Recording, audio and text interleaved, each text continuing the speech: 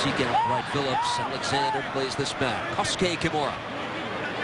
If New York has weathered the storm here. Bustamante links up with McCarty. Ball deflected and Henry with the finish. And there it is, Thierry Henry. An encore of what we saw last week. It's 1-0 New York.